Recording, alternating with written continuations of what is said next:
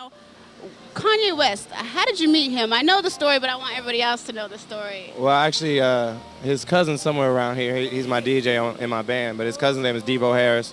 We went to college together, and uh, we're good friends, and we've been working together um, on music for a long time as well. But uh, Kanye and him are cousins, and when Kanye moved to New York from Chicago, we had been in New York for a year after college, and Devon introduced us. So we started um, working together. He was working on his demo at the time. Uh, he was still trying to get a deal, shopping at all the labels, and uh, I was still trying to get a deal myself. And so he was giving me beats for my demo.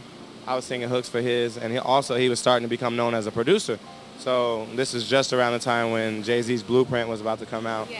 and you know that was his big break as a producer. So pretty soon he started to be an in-demand producer. He started to include me on a lot of the tracks he was doing.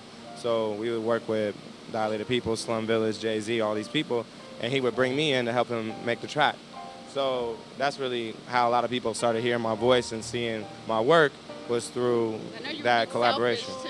Yeah, Selfish, Yes. Slum Village. That was a big song. And they said that all the stuff that you did for Kanye on the choruses, he used for his album. Yeah, most of it, and all that stuff was used. All that stuff was demos before he even got a deal, and then we were working on it. You know, right after he got his deal, right after he had the accident and everything, and then you know while we were working on, it, I was like, man, this stuff is gonna be big. I think he's gonna win some Grammys. This is special. I'm glad I was on this album and Lauryn Hill's album. Like these are two very special albums. Yes. And then lo and behold, he got 10 Grammy nominations and three awards this year. So I'm really happy to see how that all came together.